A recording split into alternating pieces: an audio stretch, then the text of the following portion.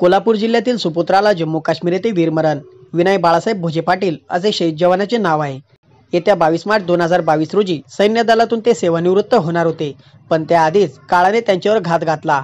त्यांच्या निधनाची बातमी कळताच कोल्हापूर जिल्ह्यासह हातकणंगले परिसरातून हळहळ व्यक्त केली जात आहे. हातकणंगले येथील भोजगावचे सुपुत्र बाळासाहेब भोजे पाटील वय सदोतीस यांचा जम्मू काश्मीर येथे सैन्य दलात कर्तव्य बजावत असताना अठरा जानेवारी दोन हजार बावीस रोजी दुपारच्या सुमारास हृदयविकाराच्या झटक्याने त्यांचे निधन झाले. विनय भोजे पाटील हे येत्या बावीस मार्च दोन हजार बावीस रोजी सैन्य दलातून सेवानिवृत्त होणार होते पण त्याआधीच काळाने त्यांच्यावर घात घातला.